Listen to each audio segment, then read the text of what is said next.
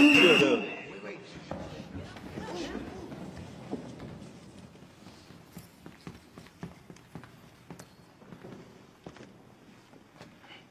Put your hand down.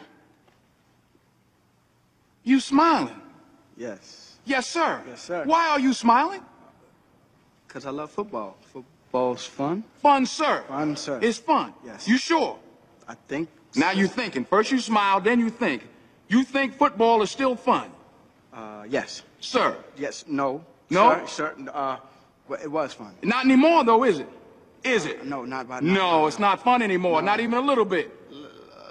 No. Make up your mind. No, no. Think. Since you're thinking, now go on. Think. No, is no. it fun? No, sir. No. No, sir. Absolutely not. Zero fun, sir. All right, listen up. I'm Coach Boone. I'm going to tell you all about how much fun you're going to have this season. We leave for camp, Gettysburg College, August 15th, 7:29 a.m.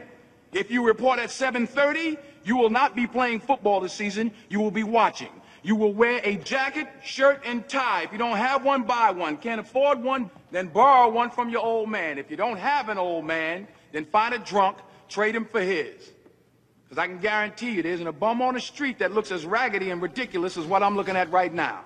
This is no democracy. It is a dictatorship. I am the law.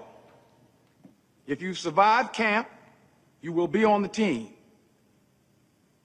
If you survive.